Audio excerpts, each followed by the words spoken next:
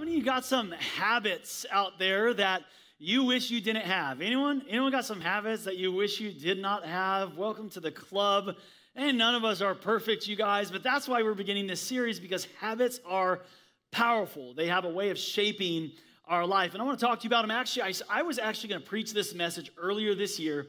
I had prayed and read and studied. I had the series built out and some lessons built out. Man, I was excited about it. And then COVID happened and quarantine hit. And I, I, went back to the drawing board and said, This isn't the time for it. But I believe that right now, this is a such a perfect time to talk about habits, the small dip- disciplines that can make big results in your life because of quarantine, because of COVID. I think all of our rhythms and our routines and our norms got so messed up. I think our habits have taken a turn for the worst uh, in this season. So I hope that this is going to be a very powerful and transformational teaching and series for you. Here's why we're doing a teaching like this, you guys. Let me give you a few reasons. Because number one, we are what we repeatedly, there we go, we are what we repeatedly do. All of us, we are what we repeatedly do. Successful people do consistently what other people do occasionally. So you look at people who are successful, even spiritually, you look at people who are spiritually, man, just strong and walking by faith, man. You're like, man, look at that. They're, look, they are doing something in their spiritual life consistently what you're only doing occasionally. Okay? So you maybe even financial success. You see people that have financial success, they're wealthy. I'm telling you, they're doing something with their finances consistently that others are only doing occasionally in every area physical. You look at some people they look healthy they look in shape. Man they're ripped or buff or whatever and you're like oh man i wish. Look i'm telling you they're doing something consistently that other people are only doing occasionally in every area of your life. This is true. Emotionally relationally financially spiritually we form our habits and then our habits form us. Our habits make or break us. Here's kind of a thesis for this teaching series. Most of us, you guys, we most people have uphill hopes and downhill habits. We have big dreams, we have high hopes, but our habits are not getting us there. Our habits are actually not pointing towards our dreams, they're pointing downhill. What do I mean by downhill? Downhill is easy. Downhill takes no effort. You slide downhill, you roll downhill, you just, you, you, it takes no effort at all. But I'm just, I'm telling you that everything that God has for you, the life that God has for you, is, is challenging. Look, it's hard. I don't know what you've been told, but it's difficult. It can be difficult to walk by faith and not by sight. It's, it's challenging at times. If you want the big dream and the high hope, you can't get it with downhill habits. Everything that you want is uphill. Everything worthwhile for your life is uphill. Someone type that in the comments, man. Okay, everything you want is up that hill. You've been going downhill long enough, man. It's time to learn some new habits and some new disciplines that are going to get you there, that are going to get you to the top, that are going to get you to your dreams. For so for the next three weeks, what I'm going to do is teach you a little bit about habits. I'm going to give you some habit hacks, man. I want to give you some habit hacks that are going to help making your habits work for you instead of against you. But I also want to give you some biblical, healthy habits, some small disciplines that can make some big changes and big differences in your life. When it comes to habits, though, many of us can sympathize with the Apostle Paul when he wrote in Romans chapter 7. We can sympathize with this. He says, I don't really understand myself at all. For when I want to do what is right, I don't do it. Instead, I eat the cheesecake. Instead, I hit snooze on my alarm. And instead, I charged up my credit card again after paying it down. Instead, I do what I hate. I want to do what's right. He says, but I can't. I want to do what is good, but I don't. I don't want to do what's wrong, but that's what I keep doing anyway. And he goes, Oh, what a miserable person am I? Has anyone ever been there, man, where you feel like you've gotten rid of that habit and it comes back again? You're like, I didn't want to do it, but I did it. Why did I do it again? Oh, I'm just so messed up. What a miserable person I am. Paul is feeling this way. And he goes, Who is going to free me from this life that is dominated by these habits that bring death, that bring sin? Thank God. The answer is in Christ Jesus, our Lord. So we all kind of want the same things in our life. A lot of us, like most of you, listen, you want to stop eating junk food, or at least not as much, okay? You want to be healthy or stop procrastinating or stop overspending at Target. You want these things, but why do we fail to do the things that we want to do? Why do we not succeed? I'm going to give you a few reasons today why we're not succeeding in doing the things that we want to do, that we even say we're going to do. If you're taking notes, write these down. First reason we focus on the what and not the how. We focus on the what and not the how. So many of us, we have similar goals. Just some of us are getting vastly different results. Same goals, different results. We all, okay, we all want to be healthy. But that cheesecake thing is real. It's like that Costco cheesecake is sitting in my refrigerator right now. It's gonna go bad. If I don't, it's gonna go bad. Okay, it's got the cherries on top and stuff. Man, it's calling out my name. I wanna be healthy. But that thing, okay, I want to be financially free. I want to I want to enjoy my life. I want to have God. I'm a, I want to make a difference. I want better marriage or better relationships. We all want these these things. And even Jesus said in Luke chapter 4, he said in the context of people wanting or following Jesus, wanting to follow him, he says, don't begin until you count the cost. Okay, so there are some people that are just like, yeah, I'll follow you. I'll follow you, Jesus. I mean, I, I want to, I want heaven. I want heaven. I want to be fine. I want to, I want to be rich. I want to be healthy. Sure, I want to be healthy. And Jesus going, look, that's not how it works. Just because you want to doesn't make it happen. You got to count the cost, he says. So every sports team that you follow, that you love, and even the fans, you begin every year going, This is the year. Is going to be a championship year. When you got married, you, you, you had the, the desire, the goal to have a forever marriage, to have a happy, healthy, great marriage. But goals don't get, you know, achieved that way. Goals don't determine success, systems determine success. Okay, here's what James Clear wrote. He, he wrote the book Atomic Habits. If you want to read a good book on habits, read that one, Atomic Habits. Here's a quote You don't rise to the level of your goals, you fall to the level of your systems. You fall to the level of your routines, your processes, what you're doing over and over again. And we see this in people. We see the success, we just don't see the process. We don't see the system behind the success. You look at people in the Bible, some like the like Daniel. He, was, he had this amazing faith. He stood out among all the other people in Babylon, and and he was just this, he's shown even with radiance. He was in the lion's den, the lion didn't eat him. It's like, oh my gosh, look at Daniel. What you don't see is his system that brought success, that when he woke up every day, the first thing he did was worship and prayed. He worshiped and prayed. He had a system three times a day. He would worship and pray at the same time. He was connected to God. He was connected to God. We think we need to change the results. Oh, I need to lose 20 pounds. I need to be more productive. That's what I need to do, man. I, need to be more organized. I need to pay off my credit card debt. What you need to do is change the system that caused the results. If you fix what you do, the outcome fixes itself. If you fix what you do, the outcome will fix itself. There's going to be a lot more about that in this series to come. A lot more. The second reason why we don't succeed in our goals is this we don't see progress fast enough. We wanted to see progress. We wanted to, to work a lot faster because I got on the treadmill three times this week and I lost two pounds. Come on, man. What's it? It's not, it's not working, all right? I read the Bible app consistently all week and I still yelled at my kids on the way as we were trying to get this on on YouTube. Okay, I yelled at them. I'm yelling at them right now. Why even try? What a miserable mom am I? What a miserable father am I? We think about that. Okay, here's some wrong conclusions. This is, we got some wrong ideas. We wrongly conclude that small good decisions don't matter much. Ah, it's just a small, it ain't that big a deal. Here's the other wrong conclusion. We think that small bad decisions don't matter that much either. So, hey, I played video games for three hours last night, and the wife didn't seem to care that much. Wasn't a big deal, okay?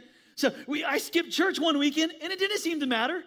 My life is still Okay, it's still operational. I ate a whole box of chocolates and I still look good. Come on, it's okay. It's okay. So we, we, we, we wrongly conclude that small bad decisions, They don't look small bad decisions, they rarely wreck your life all at once. They what they do is they add up over time, just like your good decisions. It's your hard work, it's your consistency, it's your disciplines, your sacrifices, your faithfulness. It's not being wasted. I'm here to tell you today it's being stored up. You may, it may not look like ground is being taken because you're small, consistent decisions, but it's being stored up. It's like when you put a, a pot of water on the stove and you turn up the heat on that thing, it starts off at room temperature, but slowly it gets to 80 and 100 and 140 and 200 and 210 and 211. And at 211 degrees, it's hot. You touch that thing, it's hot. But it's not until one degree left, 212, and it starts to boil. And it looks like that was an overnight success for that water, does it? It wasn't boiling one second later, but just one degree. It was an overnight success to the boiling. And what they don't see, though, is you're over you're overcoming your self-doubt. What they don't see is you're falling and starting again, and you're praying and you're sacrificing and you're enduring criticism in your early mornings and your late nights. It looks like an overnight success. TikTok came out of nowhere. It looked like an overnight success. Discovery came out of nowhere. It looked like an overnight success. That business that you started just coming out of nowhere. But what they didn't see is the grind. What they don't see is the persistence. What they don't see is the private price that you paid, the small, consistent disciplines. It's the things that no one sees that brings the results everybody else wants. It's the small things. It's the small things done consistently over time.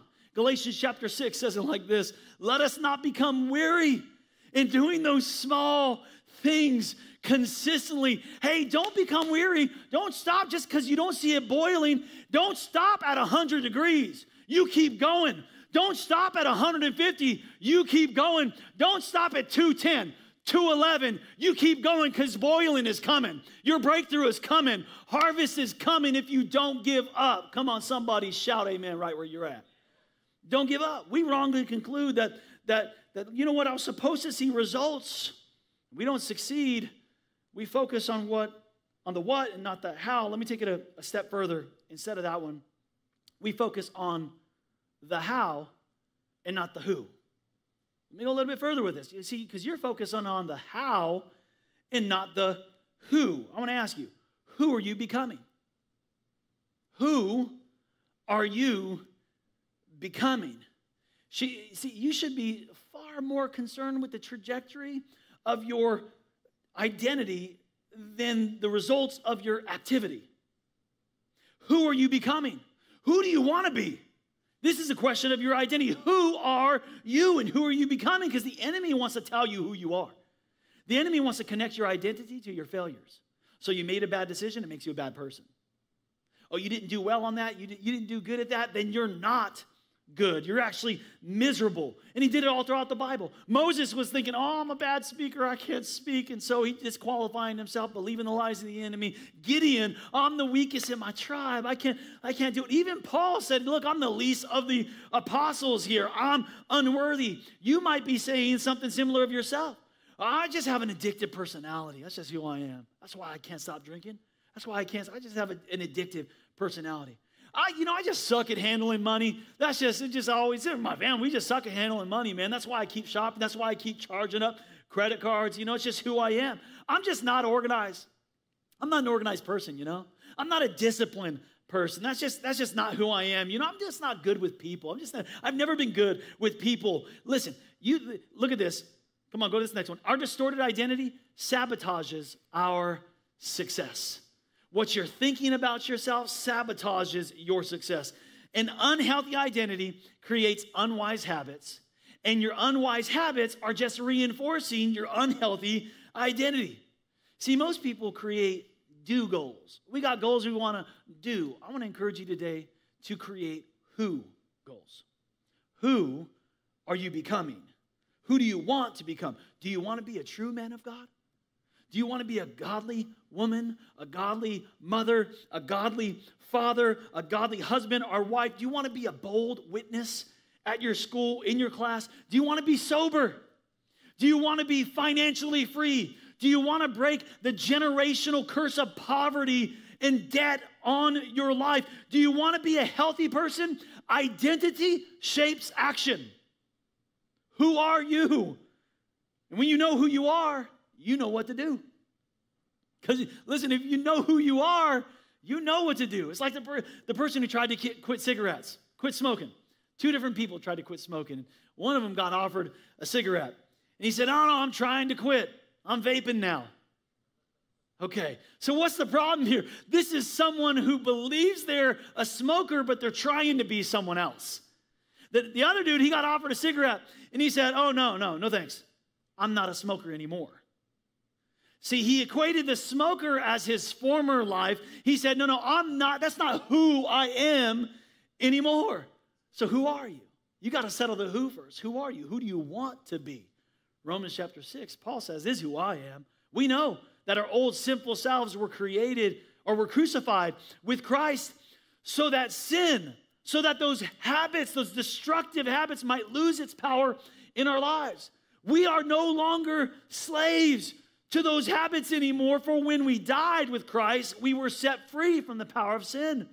Now you are free from your slavery to those things that keep creeping up in your life.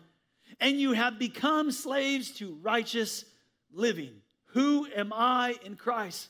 Can I tell you, if you're in Christ, you are forgiven, you are redeemed, you are a child of God, you are more than a conqueror. Identity shapes action. And if you get the right, if you get a healthy identity, it'll influence healthy habits. And then your healthy habits will just reinforce your good, healthy identity. Okay? So, what are some biblical, healthy habits for us to for us to, to identify with or to walk in? I want to give you some, some habits in this series. Uh, it's a three week series. I want to give you three of them, give you some habit hacks to help you help have your habits work for you, not against you. But I also want to give you some, some small disciplines that make big results, some small habits that can bring huge results and reinforce a God given identity. Here's the first one. Habit number one we need to focus. I'm going to focus on what I do first. Okay? The secret of habits. This is a, it, the first is important.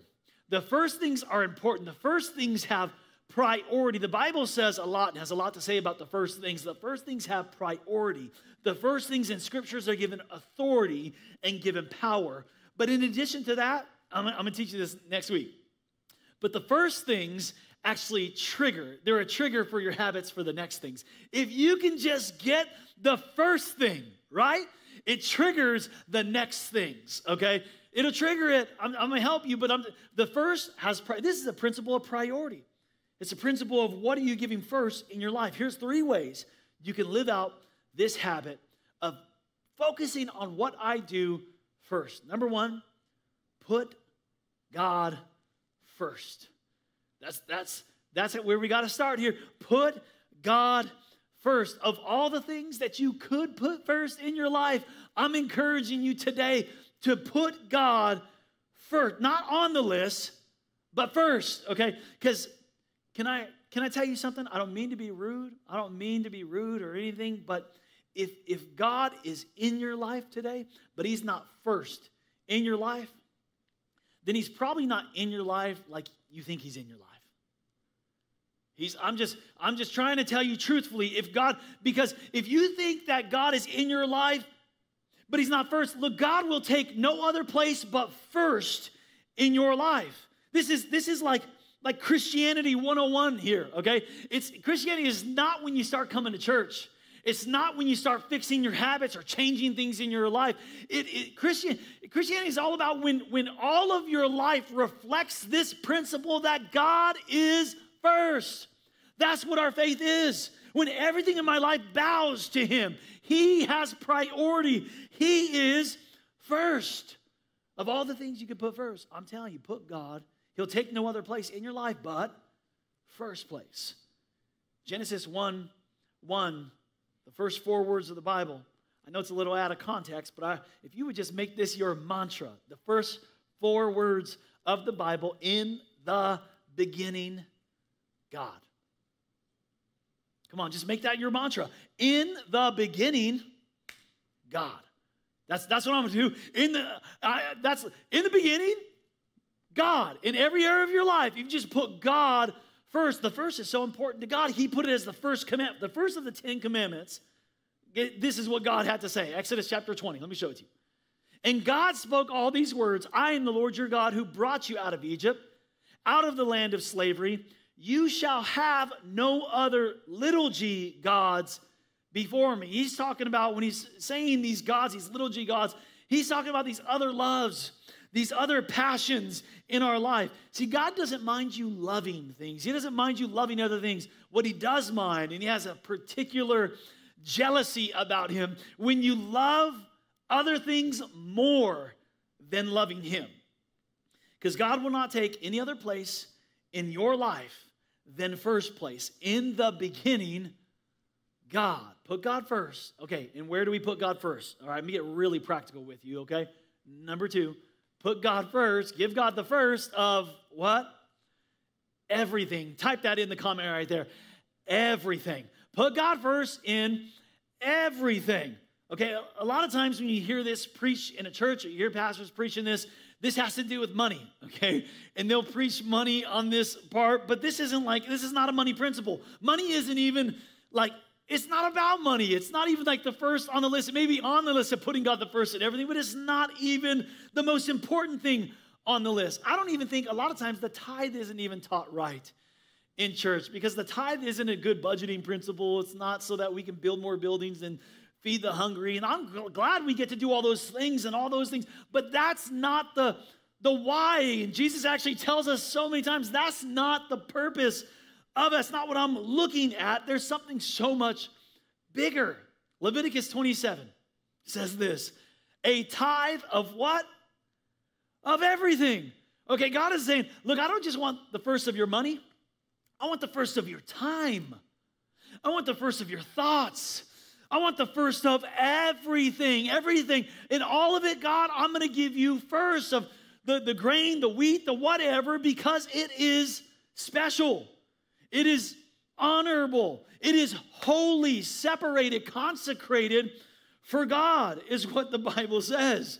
It's special. Deuteronomy 14 has, actually tells us why the tithe. The purpose of tithing is to teach you always to put God in first place in your life. So praise God that, you know, it goes towards kingdom expansion and feeding the hungry and operating ministries. And man, we're purchasing our building for the very first time, seven years old next month and we're purchasing a building and a new kids center and we're get to do more ministry and reach more people. So praise god for all that but it's not about that. We shouldn't even be looking at that as a reason or a why or some some heartstring to pull. No it's not about that. God says the reason why you put me first in everything is, is in the tithe is so that i would be first in everything in your life. Put me first. Put god first let me give you some areas that you can start putting God first, really practically. Again, just small shifts, small disciplines that are going to make a big difference in your life. Where do we put God first? Let me give you a few areas. Number one, put God first in your year. This is something we do every year here at Discovery. We practice this discipline now for, for seven, going on eight years every year. And you'll see it again. We start the year with prayer and fasting. Every year, the beginning of the year, we separate 21 days. We stop what we're doing. We stop the striving and we stop the planning and we stop the goals and we, we stop, we set our plans in our year before God. Before we do it, we say, God, this is yours. God, lead us, guide us. 21 days of prayer and fasting. We begin the year the same way and we'll begin it again in January. I want to encourage you, put God first in every area. Where? Your year. Here's another one. Put God first in your month. Like the first of the month, put God first. Now, what does this look like? It's mostly for us, it's scheduling and budgeting. You married couples will love this. Veronica and I learned this years ago, and this is honestly something on the scheduling side that's been hit and miss because some habits got away from us. If I could be honest, some months have been better than others in quarantine and stuff just because my rhythms are off, and our rhythms are off, you guys. But here's what we do here's what we do we get the first of the month and we put our calendars out together and we and we we want to make sure that we're not scheduling out God. And it's easy for us. I mean, this is our job, man. This is what we this is what we do. But we're not going to overschedule ourselves. That we're not scheduling out God. that we're scheduling out each other in our marriage, that we're scheduling out our kids, that we put our schedule before God. And it's a holy time for us. No, God, this is this is your time. What do you want us to do, God? And it's a budgeting thing as well. A lot of you get paid monthly or weekly or bi-weekly, but for us, every month we set it, we set the first things aside, and we do it, and it's a beautiful thing. We do it every first of the month. We pull up the budget, and I manage the, the budget, so I pull up our spreadsheets, and, and it's a beautiful thing that we get to kind of see what's going over and even over and above our tithe. And we that's the first thing that goes, and we do it as a honoring, worshiping, thoughtful thing. It isn't something that's just, oh yeah, we do that. No, this is we say, God, you are first. Every month we have a rhythm that we put God first in our budget and we put God first in our schedule. Okay? Here's another area you can put God first. Put God first in your week. Put God first in your week. And that's what some of you are doing right now. You're like, this is the first Sunday of the week. This is the first day of the week. You're worshiping right now and you're putting God first. And do you want to know why? Like, like church was moved and worship was moved from a, from a Saturday Sabbath to a Sunday celebration? There was two reasons. Two reasons why it was moved. First, the resurrection was on Sunday. So our church forefathers said, no, let's let's move it to the day of the resurrection. But also they said, look, we don't want to end our week in worship and celebration. No, we want to give God the first. We want to give God the first of our week in worship and celebrate God on the first day. So let me ask you a question. What would it look like if you just made this habit that you gave God the first of your week and, and you said, No, I'm going to worship with my spiritual family every week? And you did that 52 weeks out of the year. Would your life be better or worse? Okay, I'm just try- I'm trying to challenge you to create these habits the first of your week. And I'll even go further and say worshiping and back it up for me, worshiping and resting. Don't just worship, but rest. Let me give you this challenge. Don't just give God an hour of your Sunday, give God the whole day. Don't just give him a portion of the day, give the whole thing to him. Like, like stop working. Stop trying to be productive. Stop trying to make more money. Stop trying to schedule more things and more appointments. Just stop and rest. Remember the goodness of God. Reflect on the goodness of God. Spend some time with your kids or your wife. Have a dinner. Have leftovers, okay? Have, have a couple of dinners. Like go on a walk, take a nap. Come on, amen for Sunday naps, okay? Like take worship and rest. Can I tell you something? You will you will get more accomplished with six days and resting on the first day than with seven days with you in charge. You'll get more done. I challenge you to test God in this area. When you put God first, when God is first in your life, He will cause your life to be more fruitful and productive and accomplish more with Him first than you being at first. I'm telling you, if you just make this shift of what you are doing first, the first of your year. God, God have it. It's your year. The first of your month, it's yours, God. Set it before Him. Set the agenda. Set the budget before Him. The first of your week, you worship and you rest. Set it before God. And then the first of your day. This is just some habits, just some habits for you. The first things. So important. Just the first thing that's going to trigger. It's going to trigger some things in your life, man. It's going to be like a domino effect if you can get the first thing right, the first of your day, every day. And even if you didn't have a lot of time, even if, even if you woke up late, my alarm, my alarm didn't go off. Whatever, use your phone. Quit lying. My alarm didn't go off. You're making excuses. Okay, look, even if you don't have time, even if you don't have a lot of time, you can give God the first thing that you say. You can give God the first thought. What if you just woke up and that's all you did was just say, Thank you, God, for this day? What if you just woke up thinking about God and expressing some adoration, some worship, some gratitude to God? Just give Him the first.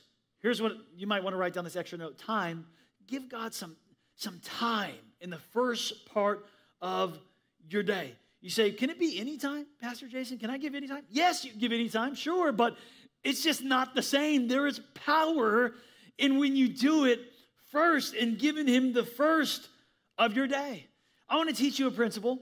If you're if this isn't a habit that you're used to, giving God the first of your day, I want to teach you a principle I call the first 15.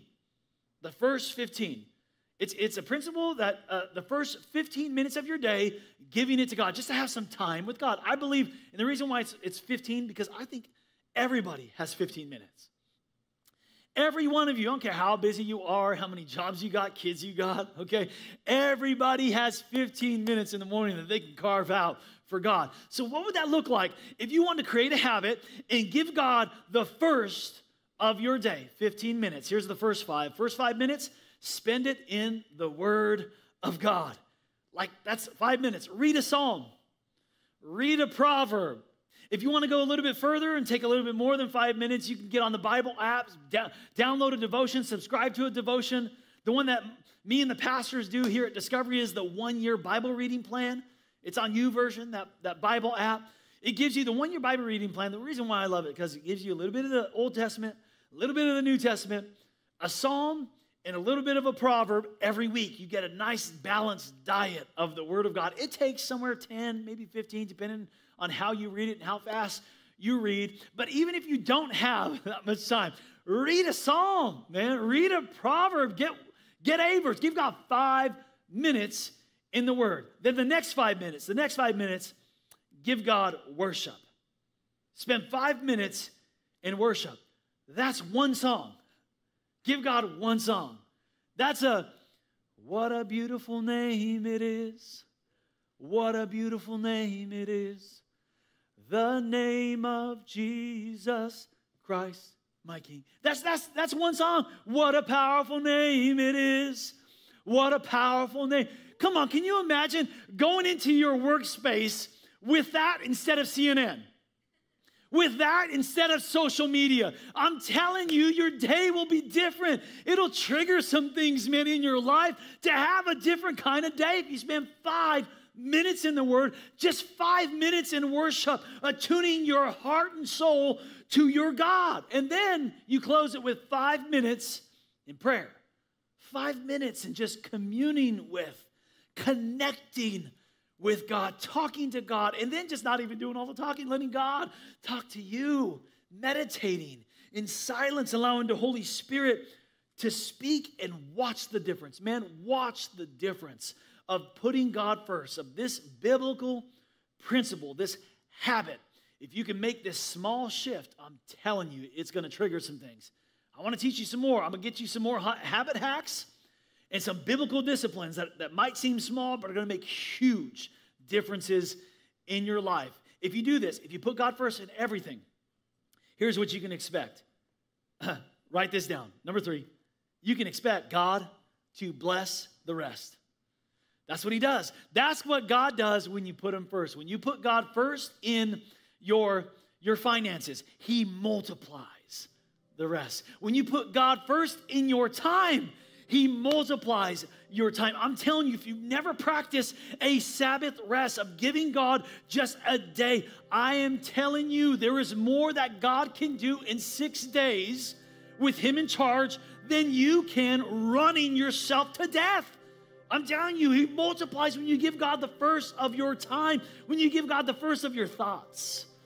Man, all of my best thoughts came when I was in prayer, when I was in worship, when I was all of my best thoughts. I've learned now I put my notes down when I'm worshiping and when I'm in prayer and when I'm in devotion because all my best thoughts come, man. All the best thoughts of my life, for my personal life, for discovery, for vision, I write it down. I'll go to it and I'll write it down. I got a rhema. God just speak to me, download something. Oh my gosh, I write it down and then I just get back into my devotion. I get back into my prayer. I'm telling you, because why? Because God multiplies everything you give Him first in. He'll multiply anything you want to see more of and God multiply and to bless and to produce favor and just start giving Him first. Give Him the first of your year. Give Him the first of your month. Set it before Him. Give Him the first of your week. Give Him the first of your day. And He will multiply. You can expect Him to bless the rest. Proverbs chapter 3 says it like this In all your ways, okay? In, in, so in all your ways so when you're waking up and you're sleeping and you're eating and you're drinking and you're in your in your relationships and your finances and your schedule and all of your ways sure you're acknowledging God. Make sure you're not you're not doing things without him. Make sure you're not pushing out God with your schedule, pushing out God of your finances, pushing out God of your gifting. Put just in all of your ways, put him first. Acknowledge God, honor the Lord with your wealth, with your first fruits of all your crops. Give him everything. Then your barns will be filled overflowing. Your vats will brim over with new wine. He'll bring fresh, new vision and resources when you put Him first. When you put Him first. And I can't wait to teach you in this series uh, because I believe that we've gotten out of rhythm. And there are some habits that we thought we were even under control, but you may be in a season right now going, What a miserable, ah, whoa, what a miserable person I am. How could I? How could I again? How could I clicked on that again? How could I have did that again? How could I have said that again? How could I have went back to that again? And these habits are creeping back up. And the enemy's lying to you. He's trying to tell you who you are. But we need to fix this right now before we move. We've got to fix who are you?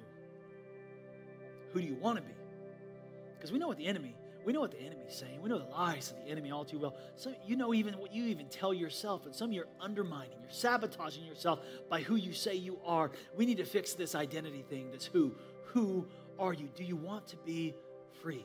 Jesus asked that question of someone who was lame and and and, and needed healing. He said, Hey, do you want to be free? Do you want to be a child of God? Do you want to be more than a conqueror? Do you want to do you want a fresh start? Do you want to be free from bondage and addiction? And do you want to be free? The Bible says that if we confess with our mouth that Jesus is Lord, we believe in our heart that God raised him from the dead, you shall be saved. That's it. And I'd love to start right there with this question of who you are, this question of identity, and settling the score once and for all. That you are His. You're a child of God. You are more than a conqueror. You're His, and that can be settled right now. I'd love to pray for you. If you're ready for a fresh start, if you're ready for to, t- to put off the old nature, like Paul is saying in Romans, and put on this new self and be renewed and transformed, this is it right now. This is your time. You may want to just bow your heads right there with me. Will you bow your head? Online, all across social media, if you're ready for a fresh start with God, will you pray something like this? Say, Jesus, forgive me of my sins.